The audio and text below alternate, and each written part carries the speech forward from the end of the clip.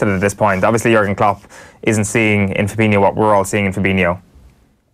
Uh, he just, he, just as Kev said there, he took time though, and you're, you're, you know, you're at the stage of the season when uh, you, you can't really be making risky decisions. And Henderson is, he's still a very solid performer. What you see is what you get. Club captain, he's a very inspirational figure. Um, carries that captain's responsibility. From the odd games I've gone to this season, you can see what it means to Henderson. After the Burnley game, he was three or four minutes going around clapping all the fans um, after the game, and he, he you know, he's his article in the match programme was very much about the beauty of the club and imploring people to go to the the Sean uh, Sean Cox fundraiser fundraiser and lots of stuff. Um, you know. Fabinho's probably a better footballer than him, but he's he's been a slow burner. He's he's definitely improved as the season has gone on, um, but it's it probably isn't the easiest decision, and you have that just as Kev says, he's, he's, maybe elements of Seamus Coleman about this as well. If there's a debate about Seamus Coleman being captain, captain is captain, and uh, um, I, I think Klopp probably has massive time for Henderson in terms of that hunger that he brings to the pitch in, in, a team that for a while maybe didn't have an awful lot of leaders or winners on it. Like Henderson is he's a great attitude and um, for the next what have we got six or seven games left it's going to be very interesting to see how he goes. Wolves against Manchester United tonight at 7:45. We touched on the top four race at the top of the show how much of a disaster would it be for United to not win the Champions League and not make the top four? Is it even is it even a disaster given they've managed to get things back on an even keel somewhat? Yeah, with Solskjaer. It's it's not it's not a disaster um, because when he got the job, they you know it looked it looked pretty unlikely that that was going to happen. They needed to go on a run. Um, now the flip side of that is they have the talent and the resources and the wage bill such that they should be at the very least competing for top four, and. Uh, uh, a slight concern about how the season will end for them now because Solskjaer has has the job and the narrative has changed a bit in that he knows now he's there and uh, the players know that he's there. Uh, will that change? Just even though they don't realise it, will that change? Did Ireland's did Ireland's rugby season change a bit when the, the, the succession was confirmed and Joe Schmidt they knew the, that he was gone at the end of the year? I don't know, but I, I think manage, managerial um, kind of things in the background can have an effect on players. And uh, funny enough, they, when they played Wolves in the Cup, it was coming after, I think, pretty sure it was the Saturday after the second leg against PSG. And they were absolutely atrocious in that game. So we'll see how they will be tonight not actually playing that well. Didn't play that well on Saturday at the moment. Uh, I, I, I think this is very tough. I see the betting Wolves are three to one, Man United are even money. I can't see uh, that makes no sense to me. Like, what do Wolves have to do to be recognised as a good team that they are with home advantage? Um, I think they've they've a big chance of beating Man United tonight. Uh, I'm just not sure will things change a little bit with Solskjaer having gotten the job? But um, forget about the Champions League. Really, they need to get top four, and after that, it's a, it's a very successful season for them.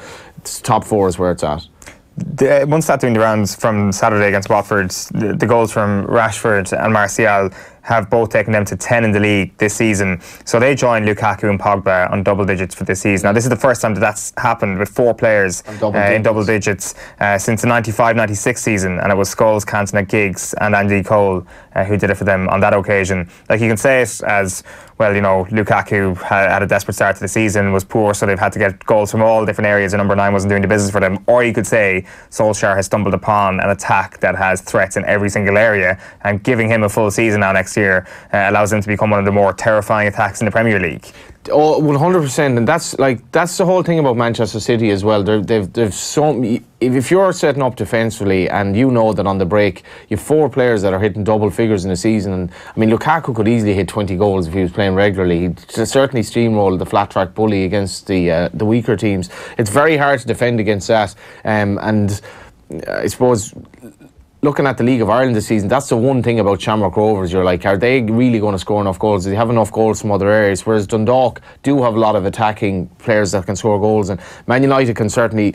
I still think Solskjaer doesn't exactly know what his best kind of system is, and he, he deserves time to have that. But on the break, they're frightening prospects. And that first goal on Saturday, the beautiful simplicity of the ball from Shaw, stuff like that, that, that that's going back to base where you have a, uh, basically players that are able to attack at pace and. Um, it's it's a it's a lovely thing to, to look forward to next season to have those four players as options and to be able to mix it up as well. Mm. Like, what's your kind of sense on how this top four is going to finish? It seems at this point that Chelsea are the team that everybody's saying, well, they're going to finish sixth. They're up against Brighton tomorrow night at 7:45, and I wonder, in sort of a very weird way the mutiny has gone on for so long at this point that they've actually just got used to being completely screwed.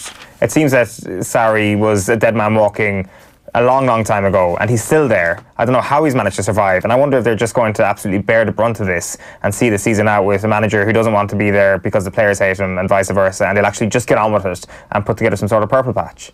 Yeah, um, I don't know if the players hate him as well. I think there's, uh, it's probably a bit of player power as well. Where back in the day, you just you just you might question your manager, but you perform for him. The pro- problem with the problem with them is they have obviously they have played 31 games. Arsenal going into it, it it's. I, it's kind of like the playoffs in England, where the team that finishes third should beat the team that finishes sixth, but generally doesn't because of the psychology of not being in the top two and the sixth place team scraping into sixth and thinking this is great. And you just wonder what Spurs, the form they're in, and like where where is this going with them? I honestly don't know how to call it. I I would have grave reservations about Spurs. Are they going to limp over the line? I think their form is so bad that they definitely could slip. The Chelsea situation is a mystery to me. I, I, I don't know what's going on with Hazard. Um, will they help and get Sarri, you know, over the line? I honestly don't know. You got to be worried about Arsenal as well, which seems a strange thing to say given their current form. But you look at their away fixtures that are left, and they don't play any of the big six. But really, it's Wolves, Watford, Burnley, Leicester, and Everton all on the road. Mm. Everton this weekend is first up. I mean, every single one of those fixtures, from an Arsenal perspective, you're looking at banana skin, banana skin, banana skin. Yeah, and I think. I think Dan McDonnell's an article in the Argentine today saying that Chelsea like have a kind of a, a really sort of doable out in terms of the Champions League in the Europa League, and they may put their eggs in that basket. Arsenal haven't been all that convincing. Um, last night's win was massive. I know they completely dominated the game, and Newcastle probably offered nothing really going forward.